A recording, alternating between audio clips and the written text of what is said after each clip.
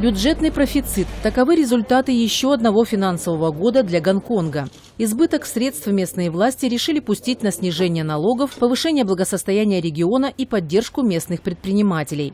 Администрация, которая традиционно ориентирована на прибыль, в этот раз объявила о необычной инициативе. Она собирается поддержать начинающие компании в креативных отраслях, таких как модная индустрия и кино. Мы знаем, что в этих областях есть много талантов. Мы хотим их немного подтолкнуть, чтобы эта индустрия стала одной из ключевых в нашей экономике. Средства для поддержки молодых дизайнеров здесь выделяют впервые. Им будут помогать получать образование и накапливать опыт. Власти надеются, что это поможет сделать местную модную индустрию более конкурентоспособной в мировом масштабе. Всего за несколько лет южнокорейские дизайнеры завоевали славу на международном уровне, не только местном.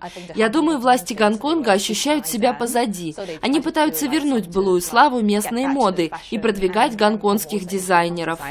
Профессионалы индустрии говорят, что местные бренды должны вернуть доверие покупателей. Думаю, у людей есть еще такое представление, что иностранное лучше. Но фабрики в Гонконге и Азии на самом деле тоже хорошие, и качество не хуже, чем у зарубежной продукции. Если люди начнут продвигать местных или азиатских дизайнеров, то начнется большой бум в креативной сфере. Пока в гардеробах гонконгских модниц в основном иностранные бренды. Впрочем, есть надежда, что в скором времени местная мода отвоюет их сердца.